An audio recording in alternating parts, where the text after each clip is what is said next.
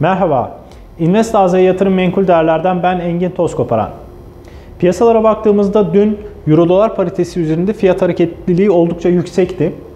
İlk etapta Euro bölgesinden gelen sanayi üretimi %0.5 olarak gerçekleşti ve beklentiye paralel geldi.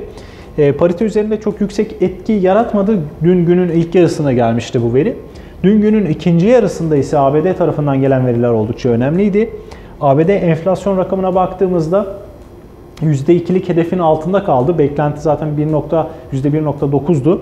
1.7 gelerek beklentinin altında kaldı. Doların zayıflamasına neden oldu. Aynı zamanda perakende satışlar da eksi %0.3 gelerek e, doların euro karşısında zayıflamasına neden oldu ve paritede yükselişler görüldü.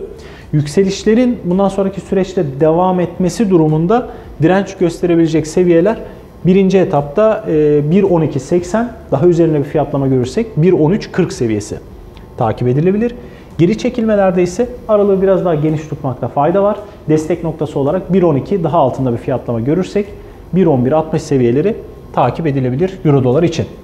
Kur tarafına bakacak olursak dolar Türk lirasında e, geri çekilme devam ediyor. Özellikle e, Euro dolarda verdiğimiz söylediğimiz veriler kur üzerinde de etkili oldu. ABD tarafı dün hakimdi piyasaya.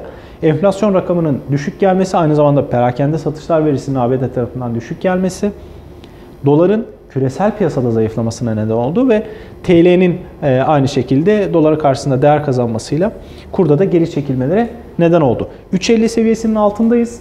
3.50 seviyesinin altında fiyatlanma devam etmesi durumunda yani kalıcı olmaya devam etmesi durumunda uzun vadede 43-45'lere kadar bir geri çekilme görebiliriz. Kısa vadelerde nerelere dikkat edeceğiz?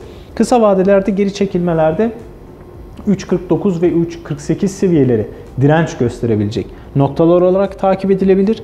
Ee, düzeltiyorum destek noktaları olarak takip edilebilir. Fiyatlar da 3.50 seviyesine yaklaşma durumunda 3.50 seviyesi bu durumda direnç gösterebilecek bir seviye. 3.50 seviyesinin üzerinde bir fiyatlama görürsek de 3.52'lere kadar yükselişleri görmemiz kurdan normal olabilir. Altın tarafına bakalım.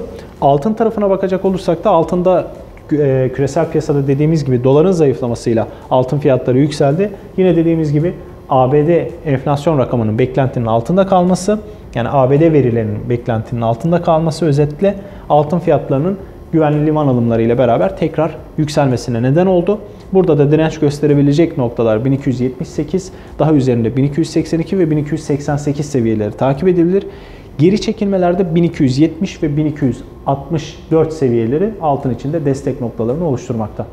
Investaz'a yatırım menkul değerler, iyi yatırımlar der.